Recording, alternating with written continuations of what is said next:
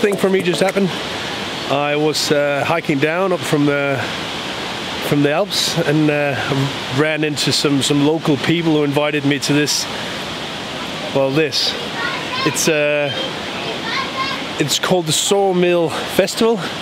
It's a tiny little local mountain village festival, but uh, they promised me a good Swiss meal, uh, bratwurst, and uh, some apple something.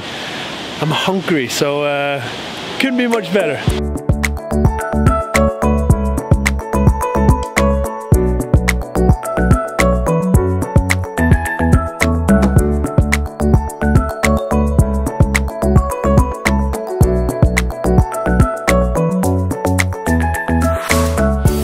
So this is the actual first time I'm making a vlog or video, whatever we call it these days. And um, for the last couple of days I've asked myself, since I've been out in this beautiful nature, like why do you record yourself and why do you, why do you even do this?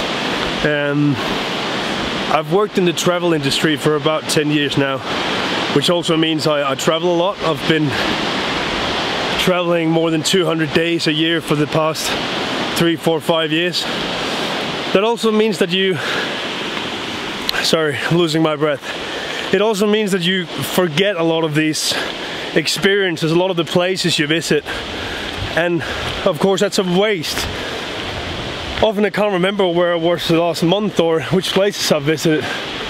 So for me, of course everybody loves the recognitions, the comments, the views, whatever, but for me it's also like a personal diary.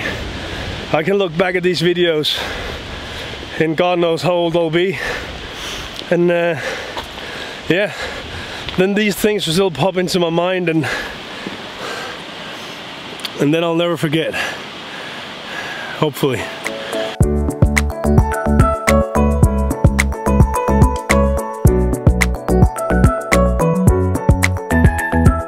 I'm down in the valley now and now I finally understand why they call it the Valley of the 72 Waterfalls. It's pretty much everywhere around where you look. It's up there, it's up there, it's everywhere. There's a hang glider as well, I'm not sure if you can see them. Anyway, um, this also means it's about to end for me. I'm back on the way to the train station. Got another hour hike or so and then, uh, yeah, catch a train back to Zurich. Um, oh yeah, fun thing. As you can see, the sky is all blue right there.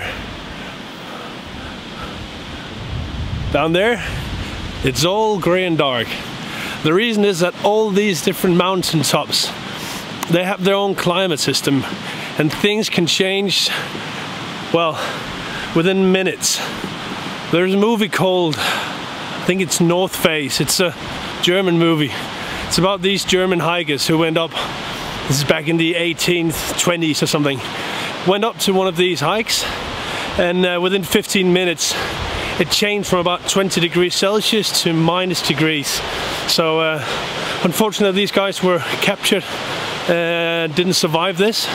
However, it still is the track that it's been used if you want to climb the north side. I don't want to.